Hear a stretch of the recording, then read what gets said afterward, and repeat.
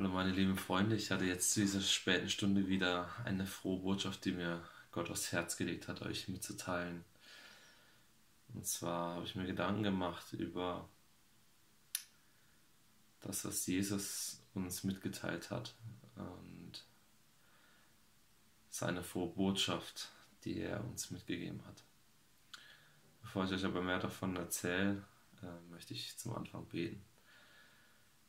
Aber Vater, im Namen des Herrn Jesus Christus bete ich, dass du durch mich durch ähm, sprichst, Heiliger Geist, dass du auf meinen Worten legst und dem, der zuhört, deine Botschaft offenbarst und ins Herz legst, dass der, der deine Worte hört, im Herzen aufnehmen kann und Frieden empfangen kann von dir und Frieden empfangen wird von dir in Jesu Namen. Amen. Genau, ich hatte den Eindruck, ein Video zu machen und meine Frage an euch erstmal, an dich, der du hier zuschaust, bist du vielleicht mühselig beladen oder geht es dir nicht so gut? Leidest du vielleicht an Depressionen oder an gewissen Ängsten, an Lasten, die der Tag auf dich legt und die Umstände mit sich bringen. Da möchte ich dir eine Zuversicht mitgeben aus meinem Lieblingsbuch und zwar kannst erraten, die Bibel, zusätzlich mit vielen Aufklebern die Meilensteine für mein Glaubensleben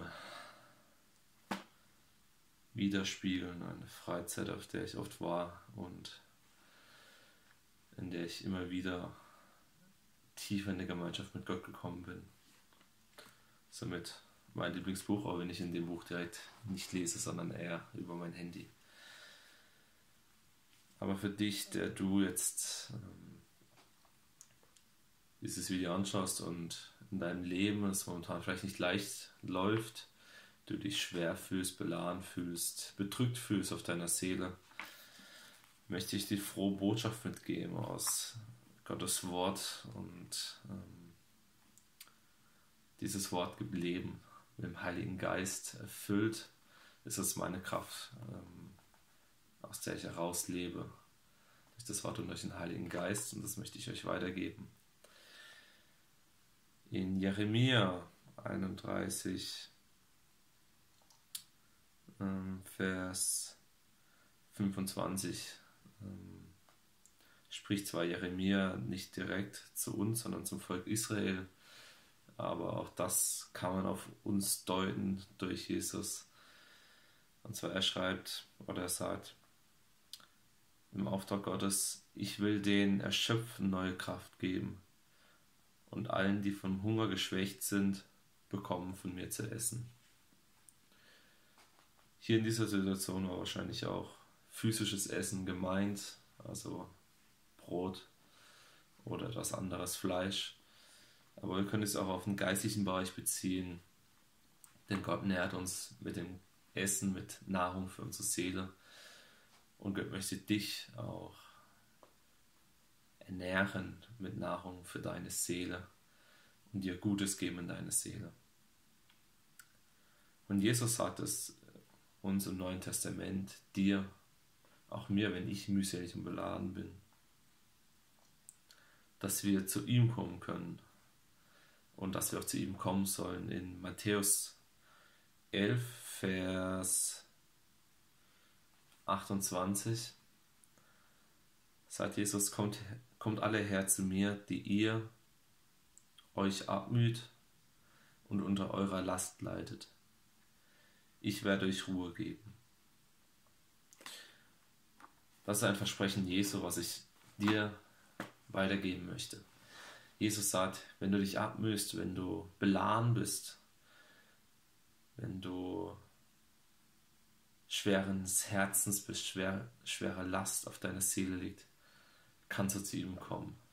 Komm zu ihm, sprich ein Gebet allein Herr, hier bin ich, was auch immer. Sprich von deinem Herzen zu Gott Suche und rufe zu ihm. Und leg ihm vor, was auf deine Herzen liegt. Und gib es ihm ab. Denn Jesus möchte deine Last auf sich nehmen. Er hat sie sogar schon auf sich genommen. Und er möchte, dass wir zu ihm kommen und ihm unsere Last geben. Möchte ich dich ermutigen, dass du zu ihm kommst und ihm deine Lasten abgibst, weil er möchte dir Frieden schenken. Ich habe diesen Frieden für mich erfahren dürfen.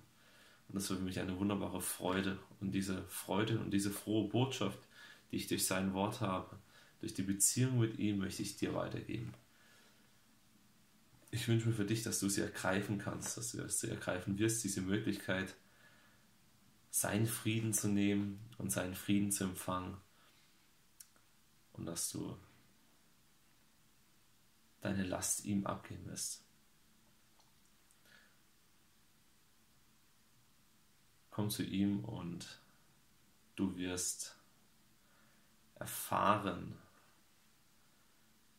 was es bedeutet, ein Leben zu leben mit tiefem Frieden und erfüllt von Freude, egal was der Umstand, egal was die Situation ist, egal wo du dich befindest, mit Annahme, Wertschätzung Vergebung und Liebe. Das ist unser Gott. Er möchte, dass wir zu ihm kommen, dass seine Kinder zu ihm zurückkehren. So möchte ich dich rufen. Kehre zu ihm, suche ihn und er wird sich von dir finden lassen.